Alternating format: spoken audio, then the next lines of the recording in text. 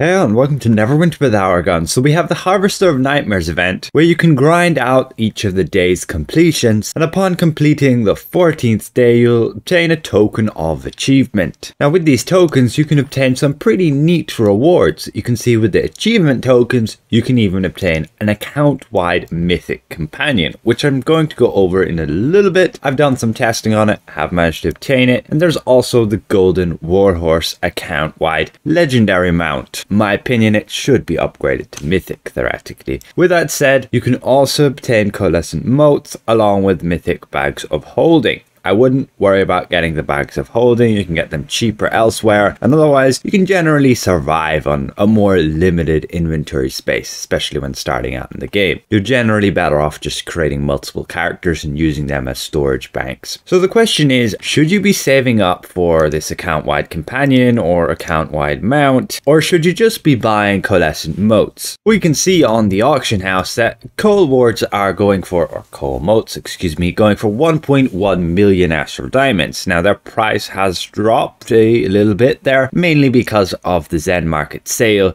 this bundle where you can buy three for just 1,500 Zen. A very good deal if you have Zen lying around and you still need to go ahead and upgrade these enchantments. Otherwise, Coal wards aren't too useful as of right now. Who knows, they might output some new combat enchantments that we might want to get upgraded. Once you have your enchantments upgraded, there's no real need for coal wards anymore.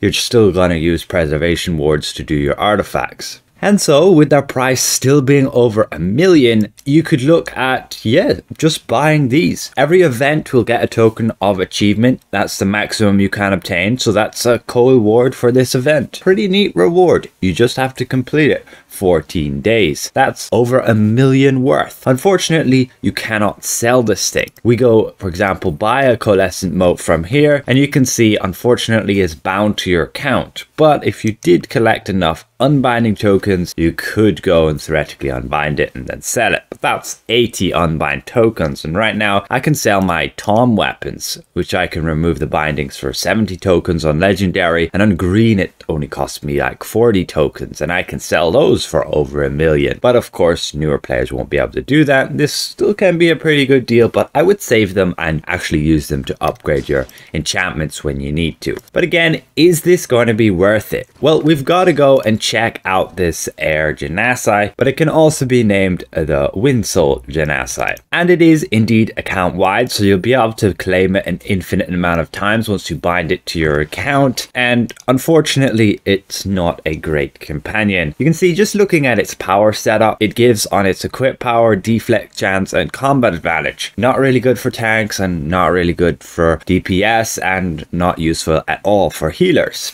It does have vulnerability, which is one of the best enhancements for increasing your party's damage. I will go over those in another video, testing each of them out and how useful they are and which ones you actually should be running in a, let's say, trial group to maximize your damage. But otherwise, the Air Genasi is unfortunately pretty underwhelming with her power setup and what she does in combat. Just by testing her against a dummy, her powers are a bit like the wizard there where she can use that lightning power but she can also spin like that which is in fact an AoE power. See there's the lightning again, she'll stab with her sword but unfortunately in single target her damage is very underwhelming. We can see a DPS test here, and she was only dealing like just over 19,000 encounter DPS. And to put that in perspective, compared to all the other companions out there, she's in 66th ranking compared to some of the top there, like with the Paranoid Delusion, the Pseudo Dragon, Honey Badger.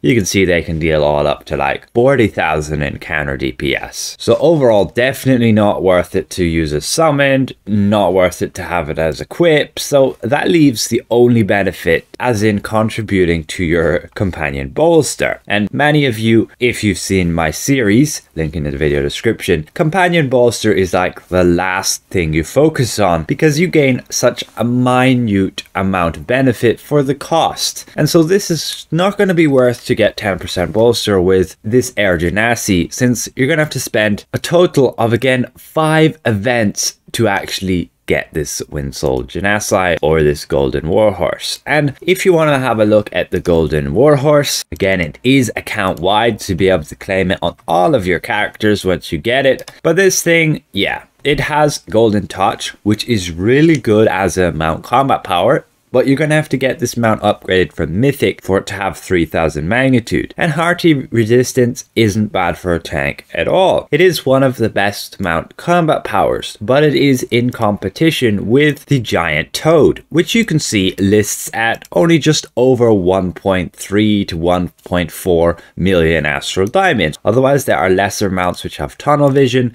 but you're going to have to be upgrading those from Epic. So in my opinion, this Golden Warhorse is not going to be worth 5 tokens when you're looking at buying 5 coalescent motes for the price of it. It's not worth over 5 million. Especially just sell one or two of those coal motes and you already got the price of this legendary giant toad. So with the Air Genasi being underwhelming in combat as summoned and as its equip power, it's not worth picking up either. Again, I'll show her performance in the new zone where we can go and jump into a pack of mobs and see how well she does. You can see she hits them all there, she starts spinning, she can hit a few of them, but otherwise nothing special. She killed one of them, but still she's gonna take forever to kill them all. Let's group the mobs around her. The next time she goes and spins, she can at least attack all of them. There you go. She can deal decent amount of damage, but they're all gonna have to be really close to her and overall her combat effectiveness is just super poor that even as a newer player you would be better off with just an augment companion buffing your own stats than this Air Genasi to help you kill a few mobs here and there. However, keep in mind since the Air Genasi is a new addition to this store, at least since the last event, then there's no reason they won't add more things to this store. When the Windsoul Genasi becomes outdated or lots of other people have it, they might add another chase item in the store and that way you might want to actually just wait on your tokens of achievement, save them up rather than buying coal wards or coal motes if you don't need them and potentially something might come down the line that's going to be actually worth the tokens that you get from this event. But again, as a newer player, you could very well just be better off getting these coal motes using them to upgrade your enchantments and getting that little bit of a head boost through this event. Otherwise, selling it for some astral diamonds, but again, you're going to have to unbind it since this mote unfortunately comes account bound. You can, of course, upgrade something with it and then sell that item on after upgrading it for a tidy profit. So unfortunately, the Air Genasi is not a companion I would pick up, nor the Golden Warhorse. Otherwise, buy coal motes if you need them, but like myself, I'm just going to save my achievement tokens and see if they add something different to the store down the line. So overall, I'd like to give a massive thank you to all my channel members for helping me keep my channel going. And if I presented this well, consider leaving the video a like. If you're new around here, consider subscribing. We'll see you guys around. Goodbye for now.